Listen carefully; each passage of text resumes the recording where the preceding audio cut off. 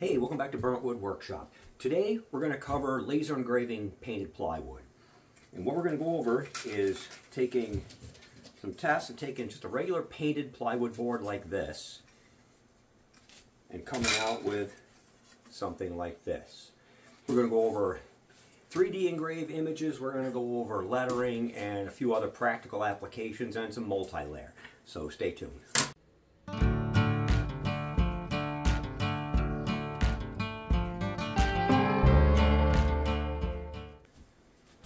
So in my last video, we did some laser engraving on regular plywood. In this video, what we're going to do is we're going to do our engraving on painted plywood. So basically, to get this image, I took just a plain piece of plywood and I painted it green with some Sherwin-Williams interior paint. And then, by getting the correct power, speed, and lines per centimeter, you end up with something like this. And as we get to the end of the video, we'll go a little more in depth on what we did with multi-layer and things like that. So what I'll do first, I'll show you how to do the test grids. And what we did was we ran some test grids to try and dial in what we wanted for our power, speed, and lines per centimeter. So we'll go over that next.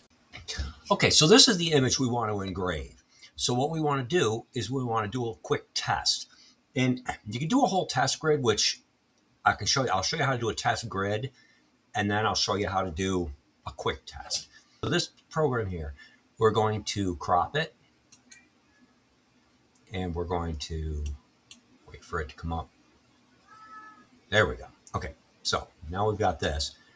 We're going to bring this down. What I'd like to have it be is a, we're going lock that together and want to make it one by one. Well, it didn't make it one by one. So we're going to unlock it and we're going to make it one by one. Okay, so we're going to take this and then we're going to take our image and we're going to adjust it around until we get it to a spot where it's a good selection of lights and darks. Now right here we've got a good selection of lights and darks. So that's what we want for our test. So we cropped our image out and we've got this little section here. And in it, we are set for engrave to, so 20, 300, 140 at Jarvis. Okay, we're gonna switch that to grayscale. That doesn't matter. All right, so we've got our settings and we wanna make a test grid. So what we wanna do is we wanna do material test array. And what you've got to watch on these is you don't ever want 100% power on these because 100% power will burn it to a crisp. So we don't want to go really any higher than 35. Whoops, no, 35, 36, whatever, 35. And starting at 10 is a bit low, so I would start at 15, say. And our speeds, we're, we want to go to higher end. So we're going to go 150 and say 350. This is just an example of a test grid. Now there's your test grid. And if you don't set your lines per centimeter from that original square, it's going to leave it at whatever their set is that they put up. And it's usually about 70 and 70 doesn't work so good. So this would be your test grid. That's how you make a test grid. And if you wanted more lines, you could add more columns. And this would add all these different powers in between. See, now you've got a huge array of choices. By doing this, this is great to get you dialed in. But if you paint your boards a little bit different each time, these settings are going to be somewhat irrelevant. So once you get a ballpark area, you can take on that board in a little section, just do a couple of small tests to get an idea if it's going to work or not. That's a lot easier than this. So that's what a test, test grid would look like. Okay, so there's our test. And we know that 20 and 300, and we're going to switch this to grayscale actually. It, it works either way. It works really well. And we get 140 lines per centimeter. Now, when you do your test grid, you want to make sure you get these set up before you do your test grid in the engrave. Otherwise, it will set it to their preset, which is about 70, which you don't want. It won't engrave well at all. 70 through paint, you'll have a lot of blotchy areas. And I'll show a demonstration of what that looks like too, because I've done it. So you want to take this and you just want to do a quick test. So you want to take this one and you want to make it 2300 You're going to copy, you're going to paste it, and you're going to make the next one say 25, 300. And you can paste the next one, and you say make that one 2250. Whoops, not 2025. We're not in the year 2525 or 2025. Oh, we are. We're gone. 2025 is gone now. We're in 2026. That's kind of crazy. Okay, so we've got our setup here. And then we're just going to, on our board, we're going to just pick a little lower corner. We're going to take these and we're going to bring them down into the lower corner and we're going to engrave test it and see what it looks like.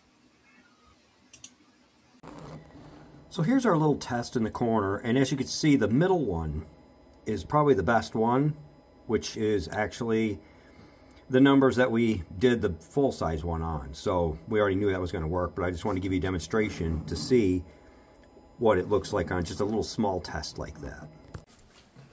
So after the Dragon, I want to try something a little more elaborate and go a little more in-depth. So what I did was, on this one, I painted a board purple, and then I painted it white. And when I engraved this one, I basically did a quick test grid of just a ballpark of where when I got to the purple. So when I got to the purple, those were the settings I went by, and this is what we came up with.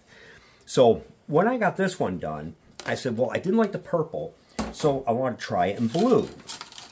So I did one in blue. And I thought the blue one looked a little washed out. And of course, on this one, I painted a little scrap board just exactly the same amount of paint and everything. And I ran a test grid of a little larger sizes to get a better idea of where I wanted to be dialed in here. So that came out really nice. But I still wasn't happy. So then I went and I painted this one blue, then I painted it purple, then I painted it white. So with the three layers, you get a lot more definition in colors. What we'll do is we'll take these, kind of show it side by with all of them. And you can see this one's got the purples, but it's also got the blues in it. So you get, I think, a little more depth out of that. And it was a little smaller, so it didn't come out looking quite as detailed. But I'll do another one with even more colors eventually. And we'll, I'll do a video on that when I do some more colors. So this is the castle engrave, and I just thought I'd show you what the settings were and what we did here. On this castle engrave, we ran at a 25 power and a 210 speed. I ran that one at Jarvis and 160 lines per centimeter. And if you do this engraving and you end up with like the one the sun didn't quite get as refined as I wanted, it was a little white around it more, you can actually lower your power and up your speed. And if you don't take it out of out of the machine, you can rerun it. I ran the one three times, so you could rerun this a couple times till you get the exact output you want for it. On the uh, two color one I did with the blue and the purple, I didn't rerun that, and the sun still had a bit of bleed around it. It could have been more defined, but it was just a small test. And I'm going to do a bigger one of those. But if you don't get the results you want the first time, not quite as deep of as an, as deep of a color and detail as you'd like, you can run it again. And I would just run it at a much lower power and a much higher speed so that it just takes a little bit off. And that also works with like you're doing with the infill with engraving. If you do the engraving and then you have that black char in your letters, you can actually run it at like 25, 300, and that'll clean the char right out before you put your paint in. It works really nice. I saw that on a YouTube video. Somebody posted it. it I've used it. it. Works great. But this is basically the same idea. You're cleaning up a little bit more at a high, you know, at a high speed and a low power. So that's just something to try. And we'll go back to the other stuff. So instead of having to paint a board, mask it off, infill it, clean it up, you could just paint this board, paint a board two colors and have text come out just like this. These come out really nice. I did these two white and blue. I did this white and orange. So you could mix your colors up just like the two-tone acrylic and make a bunch of these signs. And you could do these on three-quarter inch pine or whatever you wanted. I just did these on these because I had the pieces already painted for the other stuff I was doing. I figured I might as well do this too. So you could do signs like this and save yourself the masking and all of that. The other thing you can do is I made this card box and I did the engraving in layered paint with this. And this was the very first attempt I ever made at this. And not all of them came out great. I mean, they're not great. Little, this was my first attempt. I got things dialed in a little better now, so I will definitely be doing another one of these. But even something like this, I just did this little sun with a board that was painted orange and white. So instead of having your engravings in, say, wood where you just get the burn and the color, you could have multi multiple colors on your stuff you're making out of wood. So on these with the words, I basically do two to three coats of the lower color, and then I do basically the white. I'll do as many coats as it takes to completely cover the lower color. I don't go crazy on it. And then on this, I went a power of 42 and a speed of 500 with 160 lines per centimeter, so it cleaned it up real nice, and it makes it really. It's a pretty quick engrave. So you could do production of on a sheet. You could get quite a few of these out of it, and then if you set it up with your engraving, and then you quickly make a ring around it and make that your cut, you could have these basically engraved and cut out pretty quick. So I did a couple different ones and you could do it's just like the just like I said, it's like the two tone acrylic. So you could pick any colors you want. And I haven't tried it, but you could even almost do like several different colors and do your different power settings for each letter to get different colors. That's something you could try. I haven't tried that yet, but now that I said it, I may have to try that too.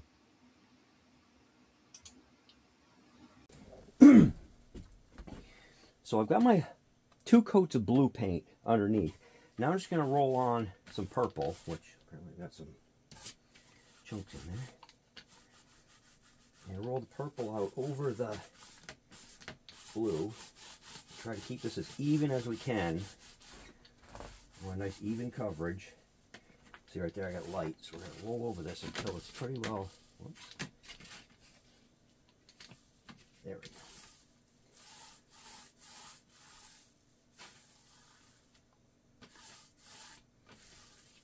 Okay, that's just our first coat of purple, so got that even.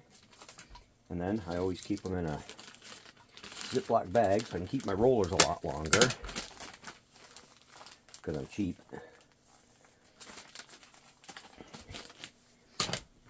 And there is our first coat of purple over the blue. So for all these demonstrations, I use just plain eighth inch plywood and I painted it. My first coat, I do like two to three layers, two to three coats, thin coats. And what I do is I put them on with these, these Whiz rollers. These are a microfiber roller.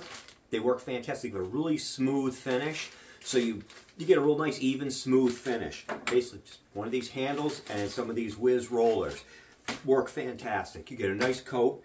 And I'm using regular Sherwin-Williams interior paint. So I go through a lot of paint. So the regular Sherwin-Williams interior paint works good. You could use acrylic paint. Uh, a lot of people are spraying. You could spray paint them. I'm not spray painting them because I'm in the winters in Maine and it gets pretty cold and I don't want to paint inside with spray paint. So your tests will help you figure out what speed, power, and lines per centimeter you want to use. And that'll take some dialing in with maybe different, different paints. I'm not sure on that. I know on this one, I did it with a brush instead of the roller, and the brush marks gave me some issues. So you probably would be, you would definitely be better off doing it with the microfiber rollers. The brush marks did cause some issues with the engraving and it burnt through in spots, and I didn't get as even of a coat as I would have with these.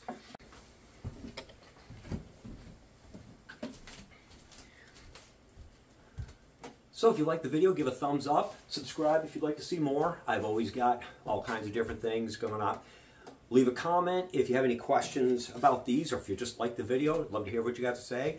Post some pictures of attempts you've made at different things or some if you do something awesome like this, post it in the comments. I'd love to see what you're doing. I really enjoy doing these. And I will continue to do more. I'll probably be doing some dice towers and a bunch of different stuff with these. And maybe some of these game card boxes. You can make your signs, make all kinds of signs. Dragons. I'm gonna keep going at it. My next video is probably gonna be a another door design, which is actually gonna be a wall art piece too. And we're gonna use the S, XTool S1, but I'm gonna make something larger than you can make in the bed. And we're gonna show how to make a larger item with that machine and how that works. And it'll also have some sublimation and a bunch of different stuff.